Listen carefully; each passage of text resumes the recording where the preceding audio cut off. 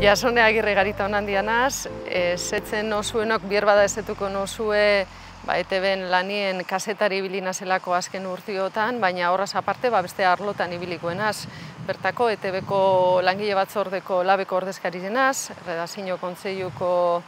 bultzatzaietako bat izien nintzen, eta horraz aparte, ba, bueno, durangaldien, ba, euskera eta euskal kulturaren aldeko mugimenduetan da ibiliten hau, ba, esate baterako geredia galkartien edo hanboto komunikabideetan. Amanaz, alabi bai, ba, horre dakarren kompromiso guztiziaz, eta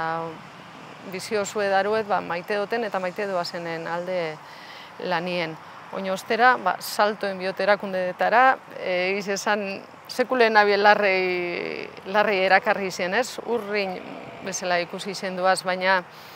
uste dut, azken batien, o, nire lana izango da hori, gerturatzi, ez, mundu bi horrek. E,